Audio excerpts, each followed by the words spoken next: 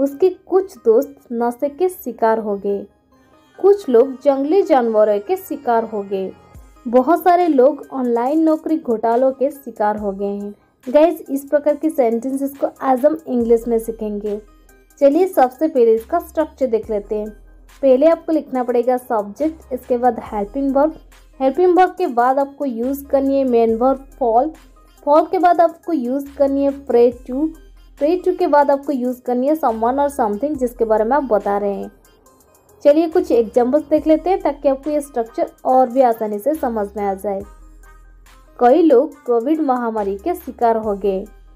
Many people fell prey to Covid epidemic many people fell prey to Covid epidemic देखिए, ये जो sentence है, ये पास सिंपल में था, इसलिए हमने फॉल का पास्ट फॉर्म यूज़ कर दिए फेल देन नेक्स्ट सेंटेंस कुछ लोग जंगली जानवरों के शिकार हो गए।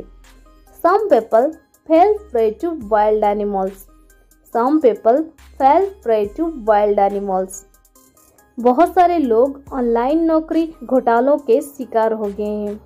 A lot of people have fallen prey to online job scams A lot of people have fallen prey to online job scams.